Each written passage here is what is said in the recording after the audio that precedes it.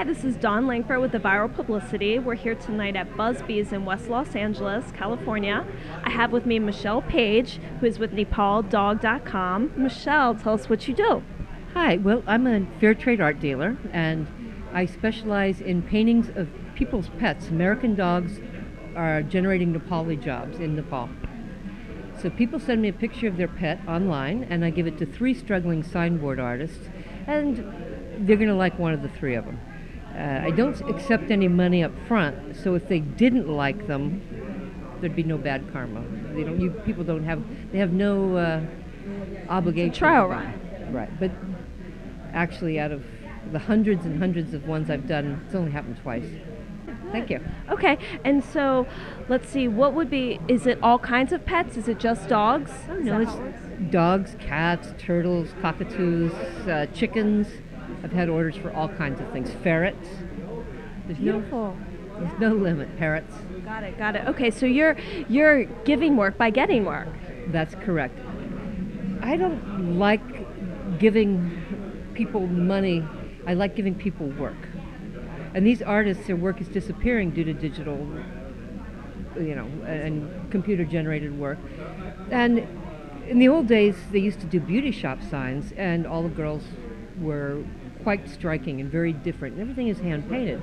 And nowadays, it's all done by committee, much like it is here. And the Clairol signs don't look any different than the Clairol signs here in America, except that they're Indian actresses, Indian movie stars usually.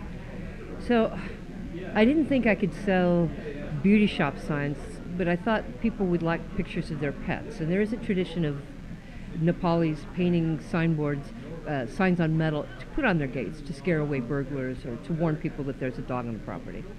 Perfect. Now, so for social media, what is helping you get NepalDog.com out? Are you using any social media sites, and is that helping you get clients? Well, I have a blog, nepaldog.typepad.com, and I think today I did my 445th post. And of course, whenever I post on that, I put it on Facebook, I put it on Twitter, I put it on tr- Tumblr, I put it to Sickness, I put it on Blog Time, Dog Blog Network. I think there's about 15 that they automatically go to. You can set it up so that when you finish your post and you hit send, it goes 15 different places. So that does help a lot.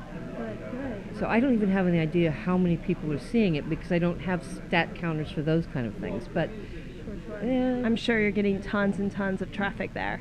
well, something's happening because I get I get commissions from Alaska and Maryland and all kinds of places. I, it's just amazing, and I do ask them where they come from, and some of it's from traditional media.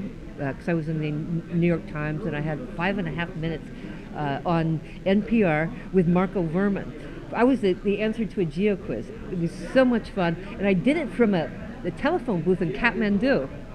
Congrats. Thank you. That was so cool. It was five minutes and 37 seconds. National. Wow. Congrats. Wow.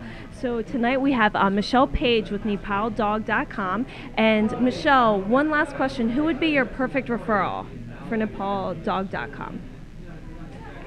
My perfect referral. I guess it would be wonderful if maybe Ellen DeGeneres or some movie star got their dog done and was wi- willing to promote it. I do have a lot of celebrity stars, uh, uh, clients, but uh, it's tacky to promote with them unless they agree to it.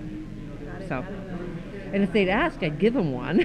And what is your website that we can find you at? It's nepaldog.com.